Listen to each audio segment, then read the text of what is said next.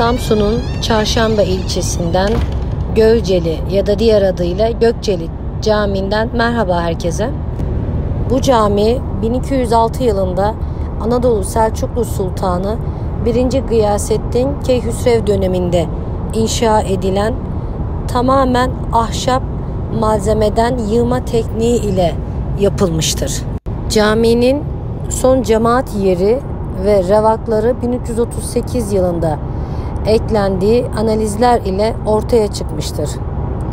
Bir başka rivayete göre de Trabzon üzerine sefer hazırlığında olan 1. Gıyasettin Keyhüsrev bölgede gemiler inşa ettirmekteyken camiyi de aynı gemi ustalarına inşa ettirmiştir.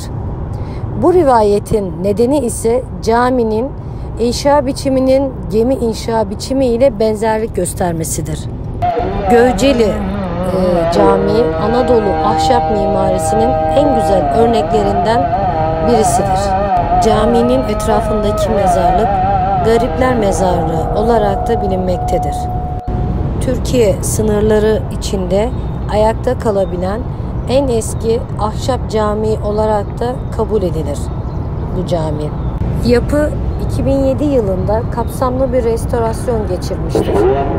Camideki klasik motif ve kompozisyon düzeni nakışların erken Osmanlı döneminde başlayıp klasik devir sonundaki bir dönemde yapılmış olabileceği düşünülmektedir.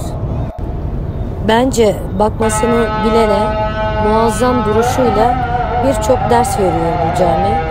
Bakıyoruz betonarme evler dahi 40 yıl, 50 yıl dayanıyor dünyada. Ama 800 küsür yıldır dimdik ayakta duran bu yapı görülmesi gereken önemli eserlerden biri olarak karşımızda durmaktadır.